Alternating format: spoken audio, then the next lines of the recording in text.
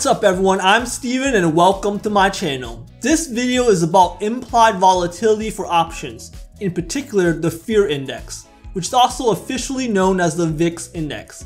I'm going to talk about what information implied volatility can tell you as a trader or investor, explain how the fear or VIX index works, and opportunities to make money that informed traders and investors may be to take advantage of. Let's start with implied volatility. Implied volatility levels can tell you a lot about the market.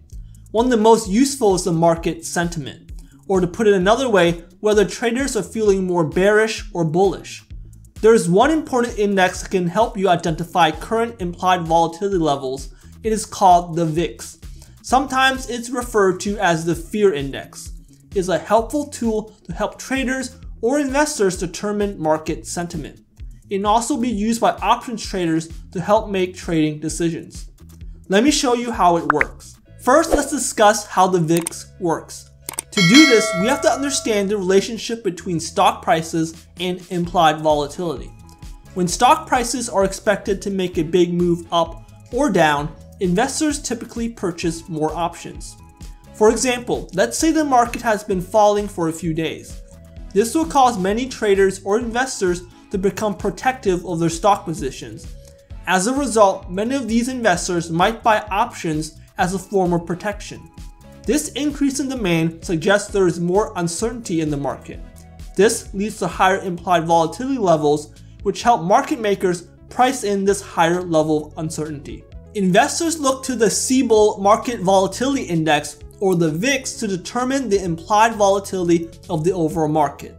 This index tracks the implied volatility of the S&P 500 options. If the VIX is rising, demand for options is increasing, which will make options more expensive. If the VIX is falling, there's less demand for options and options prices tend to fall. Again, when there's a lot of uncertainty, Traders and investors are buying options to protect their stock positions. This will lead to higher options prices set by the market makers. This is where the opportunity is for option sellers.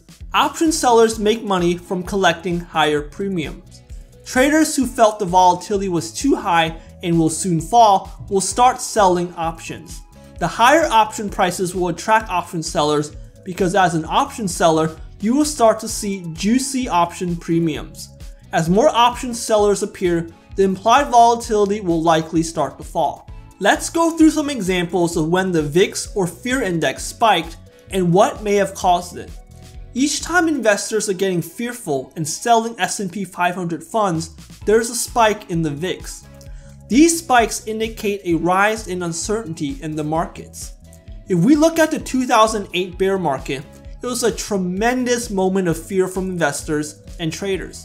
The VIX skyrocketed in 2008. This was the same case if we look at the 2020 bear market. It was a tremendous amount of fear from traders and investors. The VIX skyrocketed in 2020.